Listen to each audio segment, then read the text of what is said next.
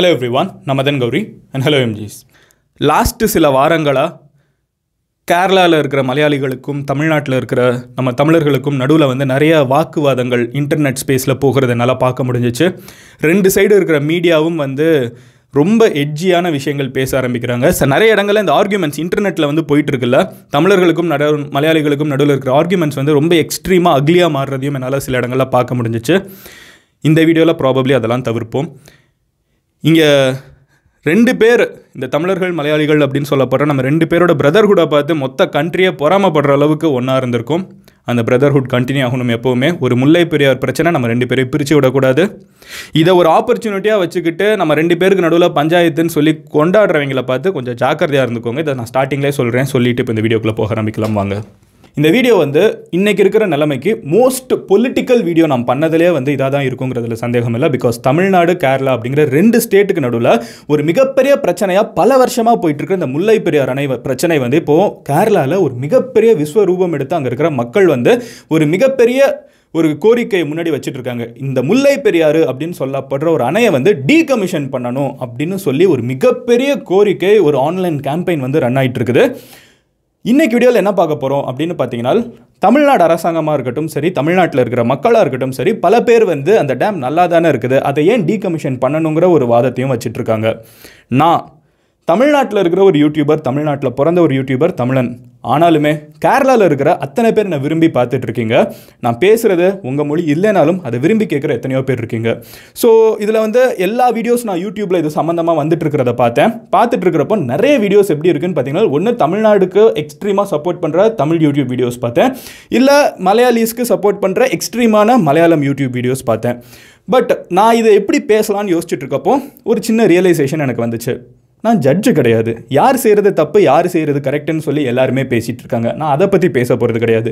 இதுவரைக்கும் இந்த பிரச்சனை என்னங்கிறத உங்ககிட்ட ரொம்ப சிம்பிளாக எக்ஸ்பிளைன் பண்ணுறது தான் என்னோட வேலை. ஸோ ரெண்டு சைடும் பாரபட்சம் பார்க்காம இதுவரைக்கும் இந்த பிரச்சனை முல்லை பெரியார் அணை பிரச்சனைங்கிறது என்னங்கிறத வந்து நான் ரொம்ப சிம்பிளாக உங்ககிட்ட எக்ஸ்பிளைன் பண்ண போகிறேன் நான் எந்த சைடும் எடுக்க போகிறது கிடையாது. வரலாற்றில் என்ன நடந்திருக்கு ஹிஸ்ட்ரியில் என்ன நடந்திருக்கு கோர்ட் என்ன சொல்லுது யுனைடெட் நேஷன்ஸ் என்ன சொல்லுதுங்கிற எல்லா விஷயத்தையும் நம்ம டீட்டெயில்டாக பார்ப்போம். யார் எந்த டெசிஷன் எடுக்கணுங்கிறத மக்கள் தீர்ப்பே மகேசன் தீர்ப்புன்னு சொல்கிற மாதிரி நீங்கள் கமெண்ட்டில் லீவ் பண்ணுங்கள் இதை கேரளால இருந்து எத்தனையோ பேர் பார்ப்பாங்க தமிழ்நாட்டில் இருந்தும் எத்தனையோ பேர் பார்ப்பாங்க. யார் என்ன பேசினாலும் நம்ம எல்லாருமே ஒரே மக்கள் அப்படிங்கிறத மட்டும் ஞாபகம் வச்சுப்போம். ஸ்டார்டிங்ல இருந்து வர ஆரம்பிக்கிறேன். முல்லை பெரியாறு அப்படிங்கிற ஒரு அணை ஒரு டேம் இந்த டேமோட ஹிஸ்ட்ரியை நம்ம எங்கே ஆரம்பிக்கணும்? கிட்டத்தட்ட இரநூறு வருஷத்துக்கு முன்னாடி மதுரை சிவகங்கை விருதுநகர் ராமநாதபுரம் திண்டுக்கல் இந்த பகுதிகள் அதாவது மிடில் ஆஃப் தமிழ்நாடு இருக்கும்ல.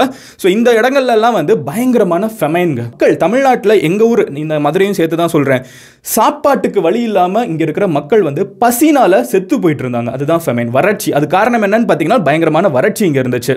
ஸோ இந்த மிகப்பெரிய வறட்சி என்னன்னு பார்த்தீங்கன்னா தண்ணி இல்லை. அதனால வந்து இங்கே இருக்கிற மக்களுக்கு விளைச்சல் இல்லை. அதனால சாப்பாடு இல்லை ஃபெமைன்னு பஞ்சத்தில் இறந்து போயிட்டு இருந்தாங்க ஓகேவா ஸோ இதுதான் வந்து தமிழ்நாட்டில் இருந்துட்டு இருந்த ஒரு நிலமை. அப்போ அங்கே இருக்கிற இந்த பிரிட்டிஷர்ஸ் என்ன பண்ணுறாங்க அப்படின்னு பார்த்தீங்கன்னா இங்கே இத்தனை பேர் வந்து செத்து போயிட்டு இருக்காங்களே இங்கே இருக்கிற மக்களுக்கு நம்ம ஏதாவது ஒரு சொல்யூஷன் கொடுக்கணும் அப்படின்னு முடிவு பண்ணிட்டு ஒரு சின்ன தியரி வந்து நம்ம ஊரில் இருக்கிற மன்னர்களாக இருக்கட்டும் கேரளாவில் இருக்கிற மன்னர்களாக இருக்கட்டும் நிறைய பேர்கிட்ட பிரிட்டிஷர்ஸ் எல்லாருமே ஒன்றா சேர்ந்து டிஸ்கஸ் பண்ணதில் ஒரு விஷயம் என்ன தெரிய வருதுன்னு பார்த்தீங்கன்னா கேரளாவில் இருக்கிற பெரியாறு அப்படின்னு சொல்லப்படுற ஒரு பர்டிகுலர் ஆறு நதி. அந்த நதி வந்து அரேபியன் சீல போய் கலந்துட்டு இருக்குது. அதாவது கேரளாவில் ஆரிஜினேட் ஆகி கேரளாலே போய் அது வந்து கலந்துட்டு இருக்குது.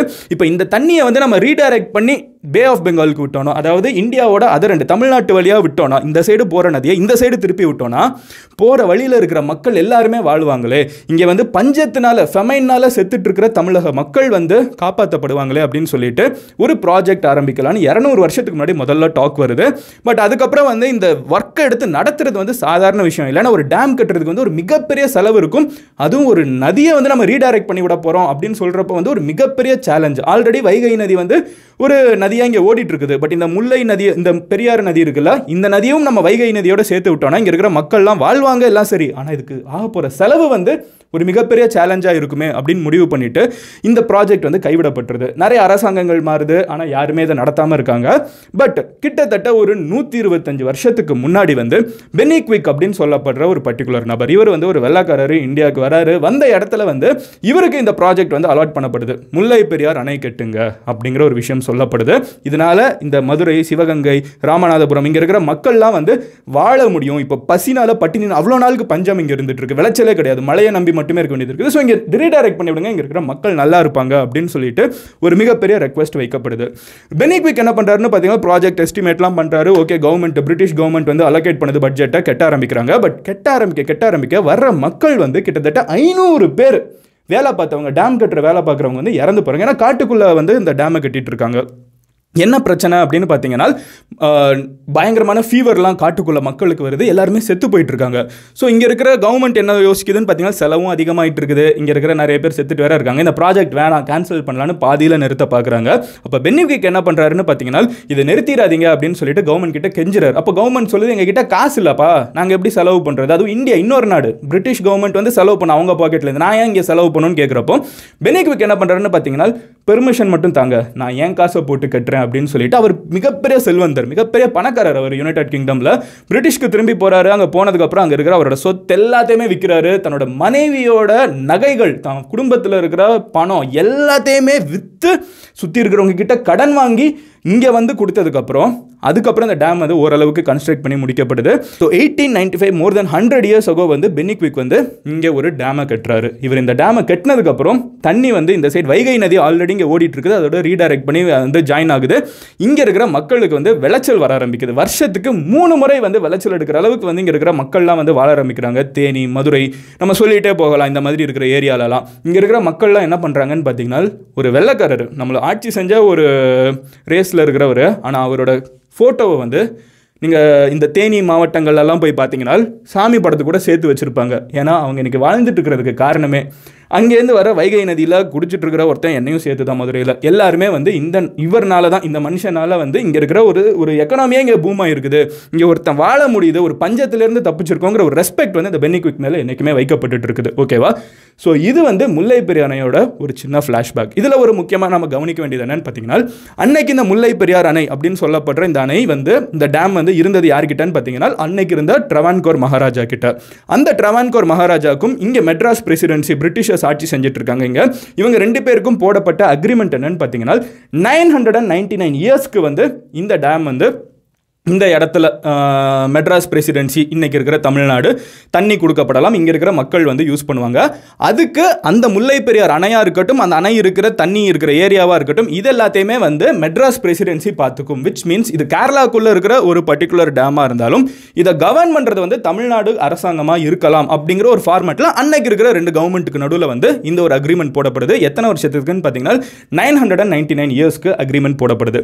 அதுக்கப்புறம் என்ன நடக்குதுன்னு பார்த்தீங்கன்னா நம்மளுக்கு ஃப்ரீடம் கிடைக்குது. இருக்கிற மக்களோட லைஃப் வந்து முழுக்க முழுக்க இந்த தண்ணினால இன்னைக்கு வரைக்கும் டூ தௌசண்ட் டுவெண்ட்டி ஒன் வரைக்கும் இந்த நீர்னால இங்கே விவசாயம் நடக்கிறதுங்கிறது வந்து இன்னைக்கு வீட்டுக்கு வர தண்ணி வரைக்கும் இங்கே இதுதான் நடந்துட்டு இருக்குது அதுக்கு காரணம் இந்த பென்னிக்விக் அப்படிங்கிற ஒரு மனுஷன் தான் சொத்தை அழிச்சு கட்டின இந்த டேம் தான். இப்போ என்ன நடந்துட்டு இருக்குன்னு பார்த்தீங்கன்னா ஃப்ரீடம் கிடச்சி முடிச்சதுக்கு அப்புறம் வந்து நடக்குதுன்னு பார்த்தீங்கன்னா கேரளா ஃபார்ம் ஆகுது. கேரளா கவர்மெண்ட் வந்து அப்போ ஒரு விஷயம் சொல்கிறாங்க இந்த டேம் எல்லாம் சரிங்க ஆனால் இந்த டேம் வந்து போடப்பட்ட ரூல்ஸை பாருங்கள் nine hundred and ninety nine இயர்ஸ்க்கு நீங்கள் இந்த ஒரு சட்டத்தை போட்டிருக்கீங்க. இது ஒரு நியாயமான சட்டமா? அதுவும் அன்னைக்கு நாங்கள் போடலை. ட்ரவான்கோர் மகாராஜா போட்டதுக்கும் பிரிட்டிஷ் கவர்மெண்ட் போட்டது இன்றைக்கி நீங்கள் ஃபாலோ பண்ணுறது சரியில்லையே அப்படின்னு சொல்லிட்டு அவங்க வந்து சுப்ரீம் கோர்ட்டுக்கு போகிறாங்க சுப்ரீம் கோர்ட்டில் நிறைய பிரச்சனை நடக்குது. கோர்ட்டில் மாறி மாறி போகுது. மறுபடியும் நைன்டீன் செவன்ட்டீஸில் இன்னொரு ஒரு அக்ரிமெண்ட் சைன் பண்ணப்படுது ரெண்டு கவர்மெண்ட்டுக்கும் நடுவில். இப்போ வரைக்கும் கவர்மெண்ட் தமிழ்நாடு கவர்மெண்ட் வந்து கம்ப்ளீட்டாக முல்லை பெரியார் அணையை வந்து கண்ட்ரோல் எடுத்துகிட்டு இருக்காங்க. அந்த முல்லை பெரியார் அணையில் நம்ம கண்ட்ரோல் எடுக்கிறதுனால அங்கேருந்து பவர் ஜென்ரேஷன் ஏகப்பட்ட விஷயங்கள் நடந்துகிட்டு இருக்கு. இதுக்கு டேக்ஸ் மணியாக வந்து பத்து லட்ச ரூபாய் வந்து தமிழ்நாடு கவர்மெண்ட்டு கேரளாவுக்கு வருஷம் வருஷம் கொடுத்துட்டு இருக்காங்க. அஃப்கோர்ஸ் இந்த பணம் வந்து நம்மளுக்கு இன்னைக்கு கம்மியாக தரலாம் பட் அக்ரிமெண்ட் போடப்பட்டப்போ என்ன மணி இருந்துச்சோ அதை இன்னைக்கு கொடுத்துட்டு இருக்காங்க. ஸோ ஆல்ரெடி தமிழ்நாடு கவர்மெண்ட்டுக்கும் கேரளா கவர்மெண்ட்டுக்கும் இந்த டேம் சம்மந்தமாக நிறைய பஞ்சாயத்து அதாவது ஓனர்ஷிப் யார்கிட்ட இருக்கணும் அப்படிங்கிற பஞ்சாயத்துலேருந்து இந்த டேம் வந்து சேஃபான டேமா அப்படிங்கிற பிரச்சனை வரைக்கும் ஏகப்பட்டது போயிட்டு இருந்த நேரத்தில் ஒரு கஷ்டமான ஒரு சம்பவம் நடக்குது. எங்கே நடக்குதுன்னு பார்த்தீங்கன்னா குஜராத்தில் eleventh August nineteen seventy nine அப்போ மச்சு அப்படின்னு சொல்லப்படுற மச்சுச்சு அப்படின்னு சொல்லப்படுற ஒரு பர்டிகுலர் டேம் ஸோ இந்த அணை வந்து குஜராத்தில் இடிஞ்சு விழுகுது. விழுந்ததில் வந்து பதினையாயிரம் பேர் இந்த டேம் ஒரு இவ்வளோ தண்ணி இங்கே சேர்ந்துக்கிட்டே இருக்குது. திடீர்னு அந்த டேம் உடஞ்சிருச்சுன்னா என்ன ஆகும்? போகிற வழியில் இருக்கிறவங்கலாம் அடிச்சுட்டு போயிடுவாங்கல்ல. ஸோ அந்த மாதிரி வந்து அடிச்சுட்டு போனதில் பதினையாயிரம் பேர் குஜராத்தில் இறந்து போகிறாங்க இந்தியா ஃபுல்லாகவே வந்து ஒரு பரவலான பேச்சு வர ஆரம்பிக்குது. இருக்கிற டேம் எல்லாம் சேஃபாக இருக்கா அப்படிங்கிற ஒரு கேள்விகள் வர ஆரம்பிக்குது. அந்த நேரத்தில் கேரளாவில் இருக்கிற மலையாளம் மனோரமா அப்படின்னு சொல்லப்படுற ஒரு பத்திரிகையில் ஒரு ஆர்டிக்கல் வருது. அந்த ஆர்டிக்கல் என்ன சொல்கிறாங்கன்னு பார்த்தீங்கன்னா கேரளாவில் இருக்கிற இந்த முல்லை பெரியார் தமிழ்நாடு அரசாங்கம் ரன் பண்ணிருக்கிற முல்லை பெரியார் அணை வந்து ஒரு சேஃபான டேம் கிடையாது அப்படிங்கிற ஒரு விஷயம் வந்து ஆர்டிக்கிள் வர ஆரம்பிக்குது. இது வந்த காலகட்டத்திலிருந்து இன்னைக்கு வரைக்கும் ஓனர்ஷிப் பிரச்சனையிலேருந்து கம்ப்ளீட்டாக பிரச்சனை வேற ஒரு மாறிடுச்சு. இப்போ இருக்கிற பிரச்சனை என்னன்னு பார்த்தீங்கன்னா இந்த டேம் வந்து உண்மையிலே சேஃபா அப்படிங்கிற கேள்வி வந்து கேரளாவில் இருக்கிற மக்களுக்குள்ளே வந்து ரொம்பவே அதிகமாக வர ஆரம்பிச்சிட்டு இருக்கு ஸோ கேரளாவோட அரசாங்கமாக இருக்கட்டும் சரி கேரளாவில் இருக்கிற மக்களாக இருக்கட்டும் சரி கடந்த பல வருஷமாக வச்சுட்டு இருக்கிற ஒரு ஸ்ட்ராங்கான ரெக்வஸ்ட்டு ஒவ்வொரு டைமும் மழை பெஞ்சு அங்கே அதிகமாக வெள்ளம் வர்றப்போ போன டைம் டூ தௌசண்ட் எயிட்டீனில் வந்த கேரளா ஃப்ளட்ஸாக இருக்கட்டும் இப்போ நம்ம ரெண்டு போன வாரம் கூட நம்ம ஒரு வீடியோ மேக் பண்ணியிருந்தோம். கேரளாவில் ஒரு மிகப்பெரிய வெள்ளம் வந்திருக்கு. அதுக்கு நம்ம தமிழ்நாட்டிலேருந்து என்னென்ன ஹெல்ப் பண்ண முடியுமோ பண்ணணும்னு. ஸோ ஒவ்வொரு டைம் கேரளாவில் ஃப்ளட் அதிகமாக வர்றப்பமும் இந்த முல்லை பெரியார் அணையில் வந்து தண்ணி இன்ஃப்ளோ அதிகமாகுது. ஸோ இன்ஃப்ளோ அதிகமாகிறப்போ ஹைட் இன்க்ரீஸ் ஆகுது. ஸோ கேரளாவில் இருக்கிற அவங்களோட ஸ்டடீஸ் படி அவங்களோட சயின்டிஃபிக் ரெக்கார்ட்ஸ் படி என்னென்னு பார்த்தீங்கன்னா இந்த டேம் வந்து தண்ணி இவ்வளோ சேர்றப்போ ரொம்ப அன்சேஃப் இது உடஞ்சி விழுந்துரும்னு அவங்க சொல்கிறாங்க ஆனால் அதே நேரத்தில் வந்து நம்ம தமிழ்நாடு சைடில் இருந்து இருக்கிற விஷயங்களாக பார்த்தீங்கன்னாலும் சுப்ரீம் கோர்ட் ஜட்ஜ்மெண்ட்ஸ் பார்த்தீங்கன்னா இல்லை தண்ணி வந்து ஒன் ஃபார்ட்டி டூ ஃபீட் வரைக்கும் போகலாம் பிரச்சனை இல்லைங்கிறது வந்து சுப்ரீம் கோர்ட்டோட ஆர்டர் தமிழ்நாடு கவர்மெண்ட் பண்ண டெஸ்ட்டில் அதுதான் சொல்லப்படுது. தமிழ்நாட்டில் இருக்கிற இன்ஜினியர்ஸ் இந்த டேமில் வேலை பார்த்துட்டு இருக்காங்க. அவங்களும் அதே விஷயத்தை தான் சொல்கிறாங்க இந்த டேம் சேஃபாக தான் இருக்குன்னு. ஸோ கேரளா கவர்மெண்ட்டுக்கும் சரி தமிழ்நாடு கவர்மெண்ட்டுக்கும் சரி இருக்கிற ஒரு மிகப்பெரிய வாக்குவாதம் என்ன அப்படின்னு பார்த்தீங்கன்னா இந்த டேம் சேஃபாக இருக்கா இல்லையா அப்படிங்கிறது தான் சுப்ரீம் கோர்ட் வந்து ரொம்ப ஸ்ட்ராங்காக நம்புறது என்னன்னு பார்த்தீங்கன்னா இந்த டேம் சேஃபாக தான் இருக்குது அப்படின்னு சொல்லியிருக்காங்க. இதுக்கு முன்னாடி வந்து சில கமிஷன்ஸ்லாம் அமைக்கப்பட்டிருக்கு. இந்த டேமுக்கு வந்து சேஃபாக இருக்கா இல்லையான்னு சொல்லுங்கன்னு. அந்த கமிஷன் சொன்னது எல்லாமே வந்து இந்த டேம் சேஃபாக இருக்குன்னு சொல்லியிருக்கு. ஆனால் அதே நேரத்தில் கேரளாவுக்கு சார்பாகவும் வந்து ஏகப்பட்ட ரிப்போர்ட்ஸ் வந்திருக்கு. அது நம்ம இல்லைன்னு சொல்ல முடியாது. அதில் ஒரு முக்கியமான ரிப்போர்ட் என்னன்னு பார்த்தீங்கன்னா இப்போ யுனைடெட் நேஷன்ஸ் இருக்காங்கல்ல. ஸோ அவங்களோட ஒரு ஆர்டிக்கிளில் அவங்க என்ன சொல்கிறாங்க அப்படின்னு பார்த்தீங்கன்னா ஒரு லைன் அவங்க மென்ஷன் பண்ணுறாங்க அந்த லைனில் இந்த டேம் வந்து செசிமிக் ஏரியாவில் இருக்குது. அதாவது வந்து நிலநடுக்கம் ஏற்படக்கூடிய ஒரு ஏரியாவில் இருக்குது. ஸோ அதனால இந்த டேம் வந்து ஸ்ட்ரக்சுரலாக ஒழுங்காக இல்லை. இது வந்து ஒரு மிகப்பெரிய ஆபத்து அப்படிங்கிற ஒரு விஷயத்த சொல்கிறாங்க இது வந்து டூ தௌசண்ட் டுவெண்ட்டி ஒன் ஸ்டார்ட்டில் வந்துச்சுன்னு நினைக்கிறேன். ஸோ இந்த ஒரு ஆர்டிக்கல் வந்ததுக்கப்புறம் வந்து கேரளாவில் இப்போ மறுபடியும் வெள்ளம் வருது. இப்போ மறுபடியும் இந்த டாக் அதிகமாக இருக்குது ஆஹா இந்த டேம் வந்து அப்போ சேஃபாக இல்லை. அதனால வந்து கேரளாவில் இருக்கிற இந்த இந்த டேமே கேரளாக்குள்ளே இருக்கிறதுனால இந்த டேம் இடிஞ்சிருச்சுன்னா அங்கே இருக்கிற மக்கள்லாம் பாதிக்கப்படுவாங்கங்கிறது கேரளா இருக்கிற மக்களோட நம்பிக்கை. இதனால இந்த டேமை வந்து டீகமிஷன் பண்ணணும் அப்படின்னு ஒரு கோரிக்கை வைக்கப்பட்டு இருக்கு தமிழ்நாடு அரசாங்கம் என்ன சொல்லுது அப்படின்னு பார்த்தீங்கன்னா தமிழ்நாட்டில் இருக்கிற மக்களோட நம்பிக்கை என்னன்னு பார்த்தீங்கன்னா எஸ்பெஷலி எங்கள் ஏரியாவில் இருக்கிற மக்களோட நம்பிக்கை என்னன்னு பார்த்தீங்கன்னா இந்த டேமை டீகமிஷன் பண்ணிட்டீங்கன்னா வைகை ஆற்றுக்கு தண்ணி எங்கேருந்து வரும்? இங்கே சப்பா மக் மக்கள் எப்படி சாப்பிடுவாங்க? ஒரு நூறு வருஷமாக நம்பி வாழ்ந்துட்டு இருக்கிற ஒரு எக்கானமியை நீங்கள் உடச்சி விட்டிங்கன்னா இங்கே இருக்கிற மக்கள் எப்படி விளைய வைப்பாங்க? அப்போ பசி வந்து மறுபடியும் இங்கே இருக்கவங்களாம் செத்து போயிடணுமான்னு இங்கே இருக்கிற மக்களோட கேள்வி ஆதங்கமும் இருக்குது. ரெண்டு சைடில் இருக்கிறதும் மக்கள் தான். ஒரு பார்டர் வந்து நம்ம ரெண்டு பேருமே மாற்ற போகிறது கிடையாது. ஒரு மொழி வந்து நம்ம ரெண்டு பேருமே பிரிக்க போகிறது கிடையாது. இரண்டு தரப்பு மக்களுக்கும் நியாயமாக ஒரு கன்க்ளூசிவான ஒரு டீல் நடுவில் ஏற்படுத்தப்படணுங்கிறது என்னையை பொறுத்த அளவுக்கு அதுதான் சரியாக இருக்கும்னு நினைக்கிறேன். அதுக்காக தான் நம்ம ஊரில் கோர்ட் இருக்குது. அதுக்காக தான் நம்ம ஊரில் வந்து கவர்மெண்ட்லாம் இருக்குது. இன்னும் சென்டரில் கவர்மெண்ட் இருக்குது. ஸோ இத்தனை பேர் இருக்கிறப்போ அவங்களோட டியூட்டி என்னன்னு பார்த்தீங்கன்னா இந்த ரெண்டு ஸ்டேட்டுக்கு நடுவில் இருக்கிற பஞ்சாயத்தை ஒழுங்காக தீர்த்து வைங்க அப்படிங்கிறது தான். ரொம்ப காம்ப்ளிகேட்டான ஒரு டாப்பிக்கை நான் ரொம்ப சிம்பிளாக உங்ககிட்ட சொல்லியிருக்கேன். கேரளா கவர்மெண்ட் வந்து இல்லை கேரளாவில் இருக்கிற மக்கள் வந்து பயப்படுறாங்க தெரியுமா? இந்த டேம் ஒருவேளை உடஞ்சிடுமோன்னு. அவங்களோட பயங்களில் வந்து நியாயங்கள் இருக்கலாம். தமிழ்நாட்டில் இருக்கிற மக்கள் சொல்கிறோம் தெரியுமா? இந்த டேம் இல்லைன்னா எங்களுக்கு வாழ்வாதாரமே இல்லைங்க. நாங்களும் பசினால் சாக வேண்டியதான்னு சொல்கிறோம் தெரியுமா? இதுலேயும் நியாயம் இருக்குது. ஆனால் இவங்க ரெண்டு பேருக்கும் நடுவில் ஒரு கூட்டம் இருந்துக்கிட்டு இந்த ரெண்டு ஸ்டேட்டுக்கு நடுவில் எப்படிடா சண்டையை மூட்டி விட்டுறது இதை வச்சு நம்ம எப்படி ஆதாயம் அடையிறதுன்னு சொல்லிட்டு கேரளாவுக்கும் தமிழ்நாட்டுக்கும் சண்டையை மூட்டி விட்டு ஒருத்தன் நடுவில் சுற்றிட்டு இருப்பான். தயவு செஞ்சு அவங்ககிட்ட மட்டும் போய் சிக்கிடாதீங்க. நேத்திக்கு வரைக்கும் இல்லை இன்னும் இந்த நொடி வரைக்கும் நீங்கள் பார்த்தீங்கன்னா நம்ம ஊரில் இருக்கிற படங்கள் அங்கே கொண்டாடுறாங்க. அங்கே இருக்கிற ஹீரோஸை நம்ம கொண்டாடுறோம். நம்ம பாரபட்சம் பார்க்குறது கிடையாது. இந்த சேனலை எத்தனையோ மலையாளிஸ் பார்த்துட்டு இருக்காங்க. கேரளாவில் இருக்கிற எத்தனையோ யூடியூபர்ஸ் நம்ம ஃபாலோ பண்ணிட்டு இருக்கோம். நம்மளுக்கு கண்டிப்பாக ஒரு மலையாளி ஃப்ரெண்ட் இருப்பாங்க. ஒரு ஒரு மலையாளிக்கும் கண்டிப்பாக ஒரு தமிழ் ஃப்ரெண்டாவது இருப்பாங்க. ஸோ இப்படி இருக்கிற ரெண்டு ஸ்டேட் ரொம்ப பிரதர்ஹுட் நம்ம ரெண்டு சைடும் பார்த்தீங்கன்னா ஒன்றும் பெரிய பிரச்சனையே கிடையாது. ஆனால் இதை வச்சு ஒரு பிரச்சனை பண்ணி அதில் ஆதாயம் அடையலாம்னு எவனா சுற்றிட்டு இருந்தானா தயவு செஞ்சு அவனை மட்டும் தள்ளி வச்சிருங்க. இதுக்கான தீர்வு கோர்ட்டில் எடுக்க வேண்டியது. கோர்ட் அதுக்கான பதில் சொல்லட்டும். அதுக்காக தான் அவங்க இருக்காங்க. பட் அதுவரை வந்து நமக்குள்ளே சண்டையை மூட்டி விட்டு அதை வேடிக்கை பார்க்கலாம்னு நினைக்கிறவங்க கிட்ட வந்து தயவு செஞ்சு போயிடாதீங்க.